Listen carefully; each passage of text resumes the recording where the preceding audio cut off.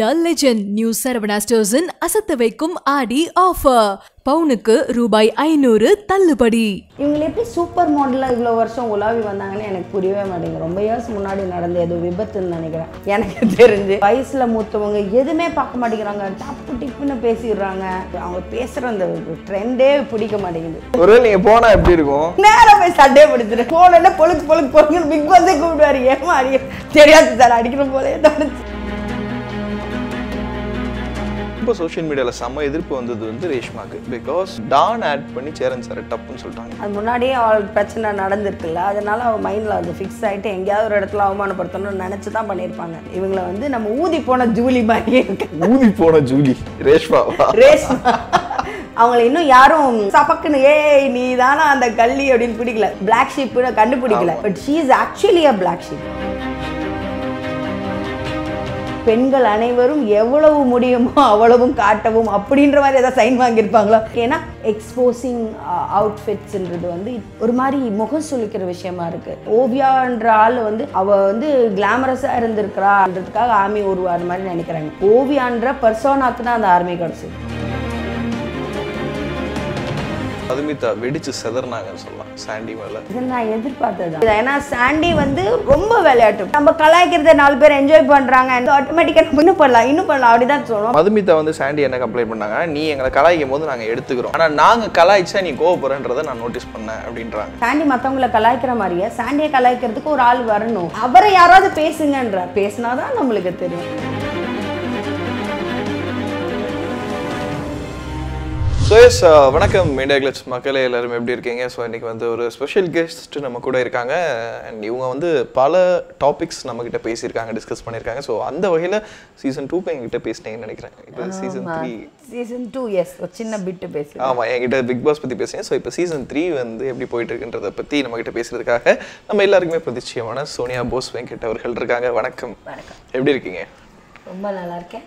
Okay and Bigg Boss three ரொம்ப social மீடியாவில் செம்ம எதிர்ப்பு வந்தது வந்து ரேஷ்மாக்கு. பிகாஸ் ஒரு விஷயம் அங்கே சொல்ல சொன்ன ஒரு டாஸ்க் வேற. ஏதோ நீ தான் ஃபூலு அப்படின்றது தான் சொல்ல சொன்னாங்க. இவங்க டான் ஆட் பண்ணி சேரன் சார் டப்புன்னு சொல்லிட்டாங்க. நீ தான்டா ஃபூலு அப்படின்ட்டு.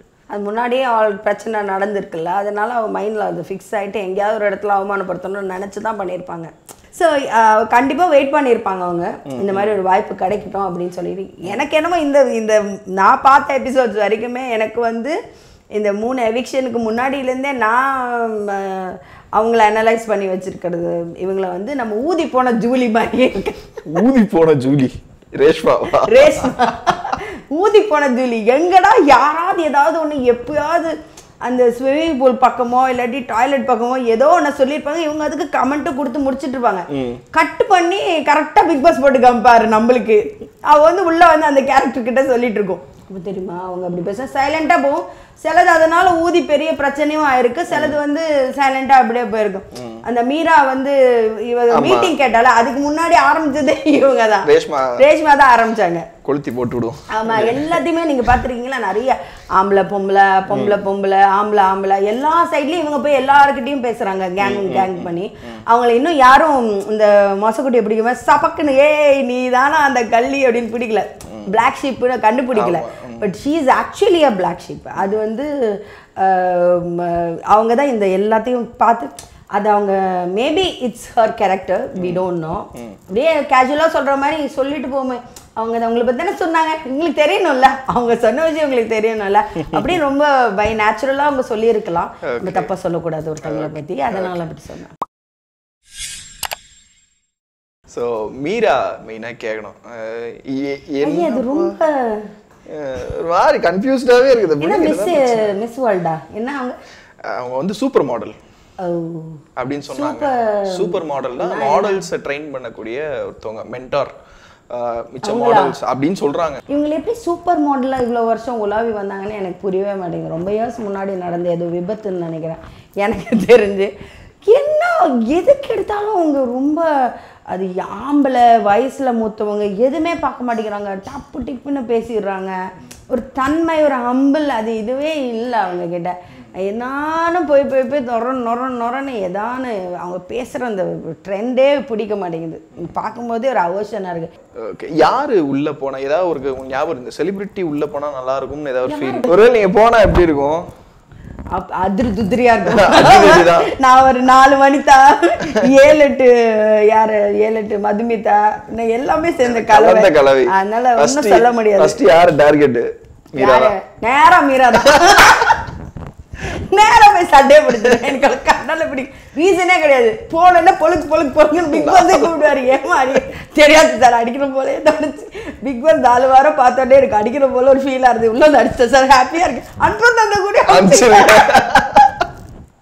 ஏன்லாம் ஏமா அடிச்சா தெரியல சார் அடிக்கணும். சொல்லி அமிச்சாங்க சார் அடிச்சுட்டு வந்துரு அப்படின்னு சொல்லிடுவேன். இந்த ஆக்சுவலி பாத்தீங்கன்னா நான் மோகன் வைத்தியா சார் கிட்ட கொஞ்சம் அந்த கொஞ்சம் ஃபேக்னஸ் இல்லாம இருந்திருந்தா மீரா தான் போயிருப்பாங்க. அந்த அந்த சோ கால்டு அந்த இது போட்டு குறு குறும்படம் படம் போட்டு காமிக்கலன்னா கண்டிப்பா மீரா வெளில போறதுக்கான வாய்ப்பு கூட இருந்திருக்கலாம். ஆனா குறும்படம் போட்டு காத்தனா அவன் மேல ஆட்டோமேட்டிக்கா சிம்பத்தி வந்துருச்சு. ஏன்னா சாட்சி தான் சொன்னான்றனால.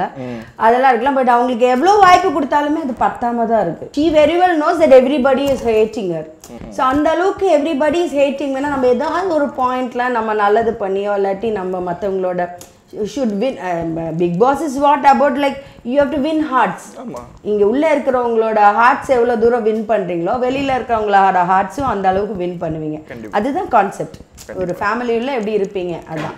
So she doesn't do justification for that at So, Meera இந்த ரேஷ்மாவுக்கு எவிக்ஷன் வரலையா? ஸோ இல்ல. அவ தான் ஓன இது கேப்டன்ல அது எனக்கு ரொம்ப ஃபீலிங்காக போச்சு. அடுத்த வாரம் எனக்கு தெரிஞ்சு இருப்பாங்கன்னு நினைக்கிறேன். நினைக்கிறேன். இந்த வாட்டி ஏதோ குழந்தையெல்லாம் பார்த்து வர அழுது இருப்பாங்க இல்ல இந்த தடவை போடான்னு சொல்லிட்டாங்கல்ல Cheran sir. So Kamal sir எனக்கு தெரிஞ்சு கண்டிப்பா கேட்பாரு இந்த விஷயத்தை. இந்த வீக் வந்து மதுமிதா வெடிச்சு செதறினாங்கன்னு சொல்லலாம் சாண்டி மேல. ஸோ பாத்தீங்களா அது? இது நான் எதிர்பார்த்ததுதான். மது வந்து இப்போ லேட்டுன்னு நினைக்கிறேன்.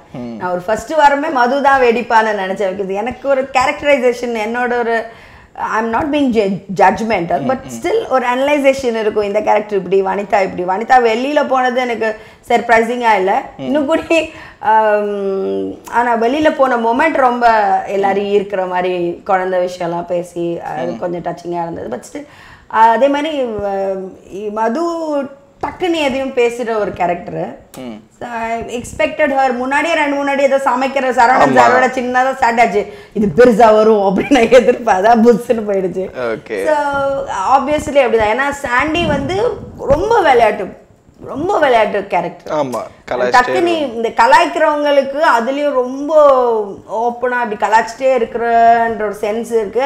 அண்ட் நம்ம கலாய்க்கிறத நாலு பேர் என்ஜாய் பண்றாங்க. And when is on Kamal sir contact with Kamal sir வந்து கிளாப் எல்லாம் கேட்கும்போது ஆட்டோமேட்டிக்காக நம்ம இன்னும் இன்னும் இன்னும் பண்ணலாம் இன்னும் பண்ணலாம். அப்படிதான் சொல்லுவோம். அப்போ கலாய்ச்சி தான் ஒரு இப்போ கவுண்டமணி சாரோட ஆஸ்பெக்ட் எடுத்துட்டீங்கன்னா ஒண்ணுமே பண்ண முடியாது. யாராவது ஒரு செந்தில் மாட்டியே ஆகணும். இல்லைன்னா கவுண்டமணி சாரால ஒண்ணும் பண்ண முடியாது. So you need someone there கண்டிப்பா. அப்பதான் கலாய்க்க முடியும். அப்பதான் அது சிரிப்பு கொண்டு வர முடியும். அந்த விஷயத்துல அவன் பண்ணிட்டு தான் இருப்பான். ஒன்றும் நிறுத்த முடியாது. ஆனா மதுமிதா வந்து சாண்டி என்ன கம்ப்ளைண்ட் பண்ணாங்க? நீ எங்களை கலாய்க்கும் போது நாங்க எடுத்துக்கிறோம். ஆனா நாங்க கலாய்ச்சா நீ கோவப்படுறன்றதை நான் நோட்டீஸ் பண்ணேன் அப்படின்றாங்க.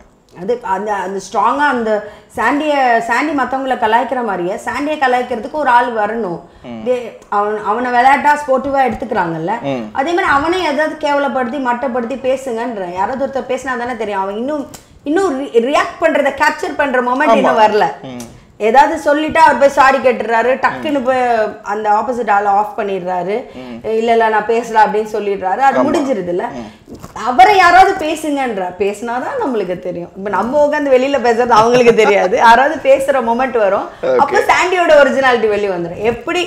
என்ன நீங்க கலாய்ச்சாலும் கவுண்டமணி சார் எல்லாம் வந்து எவ்வளவு கலாய்ச்சி எவ்வளவு அடிச்சு எவ்வளவு காமெடி பண்ணாலும் அவரை நீங்க போய் பேசுறதுக்கு ஆன் ஸ்கிரீனும் ஒத்துக்க மாட்டாரு ஆஃப் ஸ்கிரீனும் ஒத்துக்க கண்டிப்பா.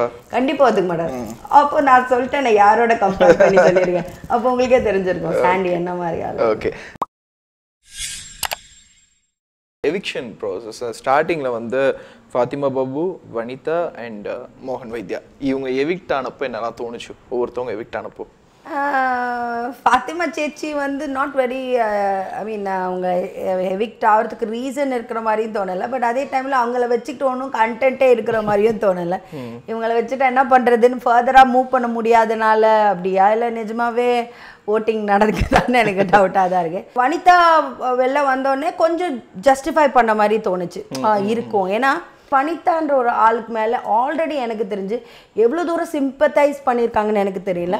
பட் அவள் போர்ட்ரே பண்ணியிருக்கிற அவள் வந்து அவள் பேசி இருக்கிற ஒரு ஒரு இன்டர்வியூ பொறுத்த வரைக்குமே வந்து ஒரு அவர்ஷன் க்ரியேட் பண்ண ஒரு ஆள் தான் அவங்க எப்படிப்பட்டவங்கன்றது நம்ம யாரும் யோசிக்க மாட்டோம். அவங்க வந்து கத்துறது சண்டை பிடிக்கிறது பேசும்போது அரகண்டா ஹார்ஷா நேச்சுரலாகவே பெண்கள்னா கொஞ்சம் ஸ்வீட்டாக இருக்கணும்னு எதிர்பார்ப்பாங்க. அவள்கிட்ட அது இல்லாமல் ஒரு கட் த்ரூவாக இருப்பாள் எல்லா விஷயத்துலையும். ஷீஸ் அவளோட அதுதான் வனிதா. அது தப்பு ரைட்டுன்னு பேசுறது அப்போ ஆட்டோமேட்டிக்காக ஆடியன்ஸ் பார்க்கும்போது அதுவும் நம்மளோட மிடில் கிளாஸ் இல்லைன்னா இந்த ரொம்ப பார்க்குற லேடிஸை பொறுத்த வரைக்கும் ஒரு இருந்திருக்கலாம். ஸோ அப்போ ஜஸ்டிஃபை பண்ணியிருப்பாங்களோ அப்படின்னு ஒரு தோணல் இருந்துச்சு. மோகன் வைத்தியா சார் எனக்கு தெரிஞ்சு நான் என் ஃப்ரெண்ட்ஸ் கிட்டே பேசும்போது சரி எனக்கும் என்ன தோணுச்சுன்னா அவர்கிட்ட ஒரு உண்மை இல்லாத மாதிரி தான் தோணுச்சு. அவர் அழுகுறாரு என்ன என்ன இப்படி வெளில இப்படி என்ன I thought so many people likes me not because நீங்கள் ஒரு உங்களோட ஏதாவது ஒரு மொமெண்ட்டை சொல்லும்போது everybody is க்ரைங்ன்றதுனால doesn't mean that they like you படத்துலனா கூட வில்லனுக்கு ஒரு க கஷ்டம் வரும்போது அழுவாங்க. ஆனால் வில்லனை பிடிக்கும்னுலாம் சொல்ல முடியாதுல்ல. அந்த மாதிரி மோகன் வைத்தியா சார் வாஸ் நாட் ஒரு ரொம்ப ரியலாக தோணலை. Faking பண்ற மாதிரி ஒரு இது அதே மாதிரி த்ரூ அவுட் அவர் வந்து எங்கேயாவது ஒரு இடத்துல போயிட்டு மற்றவங்கள பத்தி ஏதோ ஒரு குறை சொல்லிக்கிட்டே இருக்கிற மாதிரி தோணுச்சு. ஸோ அதுலேயும் ஆட்டோமேட்டிக்காக ஜஸ்டிஃபிகேஷன் லேண்ட் அப் ஆயிடுச்சு. ஓகே ஸோ தெரியல உங்களுக்கு முன்னாடியே மோகன் வித்யா தெரியும் நீங்களா அந்த கட்டி பிடிக்கிற விஷயத்துல தான் அவர் ரொம்ப ட்ரோல் பண்ணாங்க ரொம்ப பேசினாங்க. அவர் அவ்வளோ மோசமானவராக எங்களுக்கு தெரியல. பட் எனக்கே கூட இப்போ அவர் எவிக்ஷன் ஆன அன்னைக்கும் அவர் கட்டிப்பிடிக்கிறது வந்து ஒரு வரம்பு மீறின கட்டி பிடிக்கிறாங்க நம்ம கட்டிப்பிடி வைத்தியத்தையும் கிராஸ் பண்ண ஒரு கட்டிப்பிடி மாதிரி தான் எனக்கு மருத்துவ முத்தத்தையும் தாண்டிட்டாரு. மருத்துவ முத்தம் எல்லாம் தாண்டி இந்த இப்பெல்லாம் வந்து மருத்துவ முத்தம் கூட இல்ல. அது எதுவுமே அதுக்கு அதெல்லாம் கொஞ்சம் டீசெண்டா இருக்கிற மாதிரி எனக்கு தோணுது. அதையெல்லாம் தாண்டி தாண்டி வரு- வருடங்கள் தாண்ட தாண்ட எல்லாமே கொஞ்சம் கிராஸ் பண்ணி போறாங்க. பிக் பாஸும் கிராஸ் பண்ணது அப்படின்னு தான் தோணுது ஓகே இல்ல என்ன சொல்றேன் நிறைய பேர் சொல்ற விஷயம் கொஞ்சம் நீங்க சொன்ன மாதிரி லிமிட் கிராஸ் ஆகுதே அப்படின்ற ஒரு ஃபீல் இருக்குன்றாங்களே. இதுல வந்து மோர் ஆஃப் இன்ஃபேச்சுவேஷனும் மோர் ஆஃப் ஃபிசிக்கல் கான்டாக்ட் ரொம்ப ஜாஸ்தியா இருக்கிற மாதிரி இருக்கு. அதுல மேஜர் ரீசன் வந்து ரொம்ப யங்ஸ்டர்ஸ் நிறைய பேர் உள்ளே இருக்கிறாங்க. அது ஒன் பாயிண்டா இருக்கலாம். இன்னொன்று வந்து எனக்கு வரம்ப மீறின ஒரு காஸ்டியூம் வந்து இவங்க அக்ரிமெண்ட்லேயே சைன் பண்ணி தயவு கூறி பெண்கள் அனைவரும் எவ்வளவு முடியுமோ அவ்வளவும் காட்டவும் அப்படின்ற மாதிரி ஏதாவது சைன் வாங்கியிருப்பாங்களோ? தனியாக கிளாஸ் ஆட் பண்ண மாதிரியே இருக்கு. ஏன்னா இந்த மீராவாக இருக்கட்டும் ரேஷ்மா வனிதா லாஸ்ட் மினிட் வரைக்கும் வனிதா இதில் கொஞ்சம் டீசெண்டாக வந்து ரொம்ப எக்ஸ்பெக்ட் பண்ணது ஷெரின். ஷெரின் வந்து ஒரு பயங்கரமான ஒரு பாம் அவ்வளோ ஒரு அழகி அவ்வளோ ஒரு செம ஃபிட்டு ஃபிகரு எல்லாரோட க்ரஷ்ஷாக இருந்திருப்பாங்க அந்த டைமில் so many years back so நான் என்ன நினச்சேன் Sherin is coming from that type of movie background and ஒரு கொஞ்சம் பெங்களூரி அதனால ஆனால் அவர்ஸ் ஷீஸ் ரொம்ப வெல் ட்ரெஸ்ட் ரொம்ப நீட்டாக தேவைப்பட்டால் மட்டும் அது ரொம்ப வல்கராக எல்லாமே நீட்டாக இருக்காங்க. ஆம், மதுமிதா ஓகே அவ நார்மலாக அவளோட காஸ்டியூம்ஸ் இருக்கிறாங்க. பட் இந்த ரேஷ்மா இந்த மீரா இவங்கெல்லாம் என்னமோ இந்த Abhirami they're all so grown up and like என்ன சொல்றது தேர் ரொம்ப ஓவர் பில்ட்டாக இருக்கிறாங்க. And they're all women they're not girls they're not girls anymore so they're in to like so much of exposing அவுட்ஃபிட்ஸ்ன்றது வந்து இட் இட் இஸ் யக்கி ஒரு மாதிரி முகம் சுளிக்கிற விஷயமா இருக்கு. ஏன் இப்படி இந்த மாதிரி காஸ்டியூம் போட்டு என்ன காட்டணும்னு அவசியம்? படத்தில் ஓகே நீ ஒரு கேரக்டர் பண்ணுற அந்த கேரக்டருக்காக நீ எக்ஸ்போஸ் பண்ணலாம். இல்லைன்னா ஒரு song yo bad so well அதுக்காக எக்ஸ்போஸ் பண்ணலாம். பிக் பாஸ் இஸ் அங்கே எக்ஸ்போஸ் பண்ணோன்னா ஸோ யூ நீட் அட்டென்ஷன் இல்லையா? So you you need to add I mean ஒன்று ஓவியா ஆர்மி ஓவியான்ற ஆள் வந்து ஆளோட கேரக்டருக்கு கிடைச்ச ஆர்மின்னு நினைக்காம அவ வந்து கிளாமரஸாக இருந்திருக்கிறா அழகா இருந்திருக்கா நல்ல பயங்கரமா ட்ரெஸ் போட்டிருக்கான்றதுக்காக ஆர்மி உருவாரு மாதிரி நினைக்கிறாங்க. ஓவியான்ற பர்சோனாக்கு தான் அந்த ஆர்மி கிடைச்சது. பட் அபிராமி என்ன சொன்னாங்கன்னா பாக்குறவங்க கண்ணில் இருக்குன்னு கமல் சார் கிட்ட இந்த ட்ரெஸ்ஸிங் பத்தி ஒரு பிரச்சனை வரப்போ பேசினாங்க. இல்ல அது குழந்தை குழந்தைங்கள பத்தி பேசுனாங்க. ட்ரெஸ் பண்றதுனால தான் வந்து பெண்களை வந்து தவறா உபயோகப்படுத்துறாங்க. அந்த மாதிரி சொன்னா அது நானும் இருந்தாலும் நான் பெண் பெண்களுக்கு தான் பேசுவேன். ஒரு குழந்தையில என்ன ட்ரெஸ் இருக்கு? நம்ம ஏற்கனவே இதை பத்தி டிஸ்கஸ் பண்ணியிருக்கோம். ஸோ நான் ஒரு குழந்தை கிட்ட என்ன நீ ஒரு செக்ஷுவல் இன்வ இன்விடேஷனை என்ன பார்க்க முடியும்? இல்லை அதுக்கிட்ட என்ன ஜெண்டர் இருக்கு? குழந்தைன்னா அது ஆனா பெண்ணானே நம்ம கேட்க மாட்டோமே. ஸோ அந்த மாதிரி விஷயங்கள் வரும்போது இட்ஸ் ஓகே பட் இருந்தாலும் ஒரு நீ ஒரு டீசெண்டாக இப்போ ஒரு ஸ்லீவ்லெஸ் போடுறீங்க அது போடுறீங்க அதெல்லாம் ஓகே பட் ஏதோ ஒரு பாயிண்ட்ல எல்லாரோட ட்ரெஸ்லையுமே வந்து வல்காரிட்டி இருக்கு. அந்த இந்த மூணு பேரோட காஸ்டியூம்ஸில் ரேஷ்மா அபிராமி அண்ட் மீரா. சாக்ஷி? சாக்ஷி அதான் சொன்னேன் அவங்க அந்த நார்த். லுக்கில் இருக்கறனால அவங்க வல்கரா தெரியல. அந்த நார்த் இந்தியன் மாதிரி தெரியுறாங்க. ஸோ அதனால அவ்வளோ அசிங்கமா தெரியல. இவங்க மூணு பேருமே கொஞ்சம் மீரா வந்து ஒ- ஒல்லி எல்லாம் தான் மாடலாலாம் இருக்கலாம். பட் இருந்தாலும் ஒரு மாதிரி வல்கரா இருக்கு. அவங்க வேணும்ட்டு நேவல காட்டுறதா இருக்கட்டும் அந்த மாதிரி காஸ்டியூம்ஸ் வந்து வேணும்னு போடுற மாதிரி இருக்கு. இப்ப தெரியாம ஒரு- வீட்ல இருக்காங்க. இப்போ திரும்புற இடம்லாம் கேமரா இருக்கு. ஒருத்தங்க திரும்புறாங்க பண்றாங்க குனிறாங்க ஏதோ ஒன்று தெரியுதுன்னா that is different but your dressed that self to be shown உன்னோட காஸ்டியூமே அந்த மாதிரி ஏதோ ஒரு எப்படி திரும்பினாலும் உட்காந்தாலும் நின்னாலும் ஏதோ ஒன்று தெரிய போகுதுன்னும் போது கொஞ்சம் அதை கேர் எடுத்துக்கலாம். Because it's it's a family show again ஒரு வீட்டில் டிவி எல்லாரும் உட்காந்து பார்க்க போகிற ஒரு சேனலும் ஒரு ப்ரோக்ராமும் ஸோ அந்த ஒரு வரமுறை இலை மறைவு காய் மறைவு. ஸோ அந்த விஷயத்தை ஃபாலோ பண்ணலாம் அப்படின்றது என்னோட கருத்து. ஓகே அண்ட் சேரன் சார் வந்து இன்னைக்கு எபிசோட்ல ப்ரொமோவில் நான் பார்த்தேன். இப்படி கையெடுத்து கும்பிட்டு போறாரு. உங்ககிட்ட நீ பேச்சே கிடையாது. ஏன்னா அவர் ரியலா அந்த கேரக்டருக்கு மரியாதை கொடுக்கலன்றதை தாண்டி ரியலாவே சேரன்ற ஒருத்தருக்கு மரியாதை இல்லைன்றதை அவர் ஃபீல் பண்ணிட்டாருன்னு எனக்கு இல்லை ஒருவேளை டேரக்டராகவே இருக்க ஃபீல் பண்ணுறாரு நான் தான் இங்கே நான் சொல்றதை கேளுங்க. நான் ஒரு சீனியர் பர்சன் அந்த ஒரு விஷயத்துல ஏன்னா சித்தப்பா தான் சொன்னார் அவர் டேரக்டராகவே இருக்க ட்ரை பண்றாரு அப்படின்னு.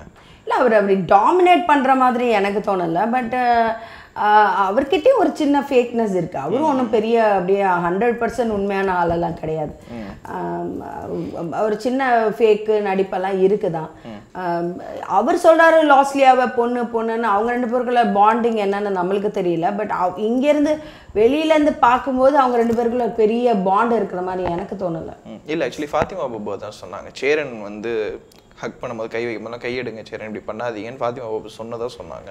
நிறைய லாஸ்லியாவை கட்டி பிடிச்சி நிறைய பேர் கட்டி பிடிச்சி பார்த்தேன். லாஸ்லியாவை கட்டி எல்லாம் பிடிச்சாரு. But not I'm not telling it because of hugging ஜென்ரலாகவே அவங்க ரெண்டு பேருமே பேசுறதா லாஸ்லியா எவ்வளோ தூரத்துக்கு அதை உண்மையாக எடுத்துக்கிட்டு அந்த ஃபீல் உண்மையாக கொடுக்குறான்னு எனக்கு I I have no comments on that but இவரோட அன்பு எவ்வளோ தூரத்துக்கு உண்மையாக இருக்கும்னு எனக்கு தெரியல. எனக்கு தெ எனக்கு ஒரு ஜட்மெண்ட் இருக்கு சேரன் சாரை பற்றி இல்ல அவர் தான் நாமினேட் பண்ணாரு ஃபர்ஸ்ட் லாஸ்ட்லியா த மூவின் ரெண்டு பேரையும் வந்து அவர் தான் ஃபர்ஸ்ட் ஃபர்ஸ்ட் நாமினேட்டே பண்ணாரு. ஏதோ ஒரு கட்டத்துல லாஸ்லியாக்கு வெளிய ஃபேன்ஸ் இருக்கு அப்படின்னு எப்படியுமே கிளாப்ஸும் வனிதா வெளியில வரும்போதும் கிளாப்ஸ் இருந்துச்சு. வனிதாவை ஒரு விஷயம் பேசும்போதும் கிளாப்ஸ் இருந்துச்சு.